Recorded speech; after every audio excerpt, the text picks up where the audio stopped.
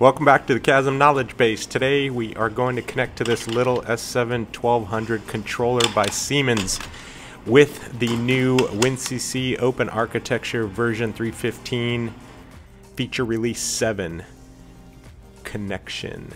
The first thing that we're going to do is drill down into our installation of WinCC OA and launch an executable that is going to create a utility inside of TIA Portal that will allow us to export the SCADA project or export the tags for SCADA.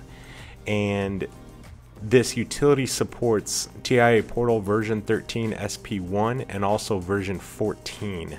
All right. So what I'm going to do here is just install this little utility.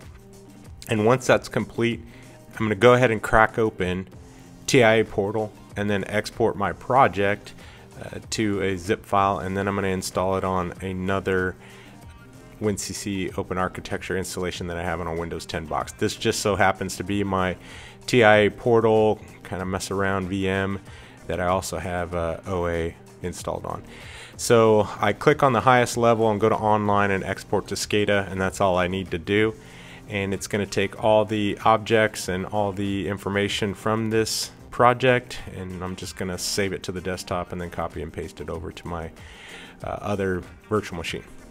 So here I am back on my Windows 10 machine and in order I'm gonna go ahead and put this into my project so I go to WinCCOA Proj, TIA import which is the name of my project, drill down into TIA projects in the data folder and just drag and drop that in. You don't have to unzip it, just leave the zipped folder in there.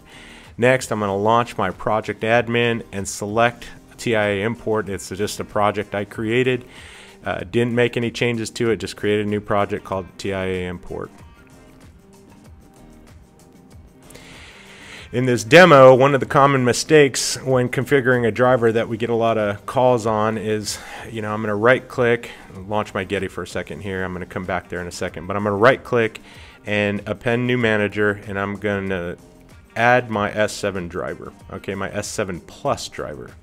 Once I select that, I'm going to click it to start once and start. You're going to see it fail here and not launch.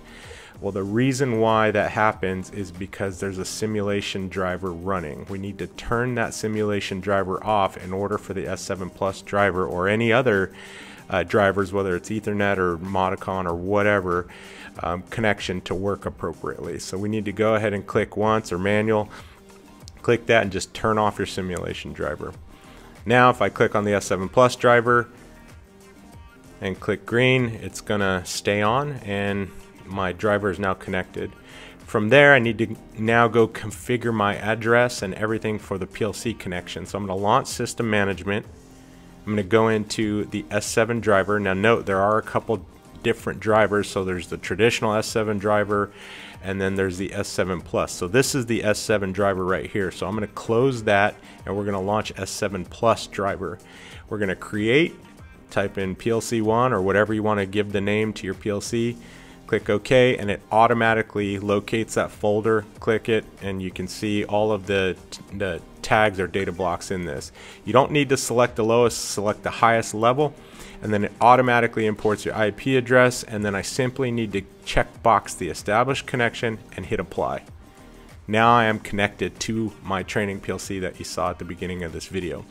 From there I can click the engineering tab and hit importer and then select the data blocks or the information, the data points inside of that PLC and import them. But before I do that, I want to open up our PARA to show you that there are no pre-configured objects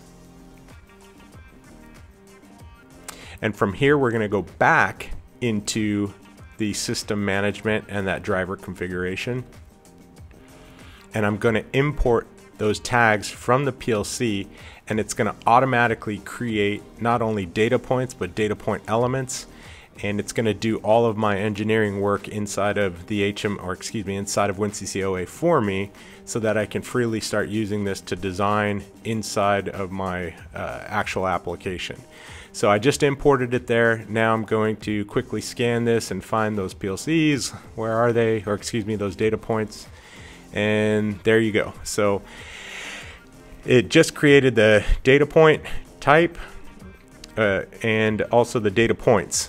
And the cool thing about this is yes, you can create a master template off of that da imported data point. So this is what we're going to do is create it and there it is.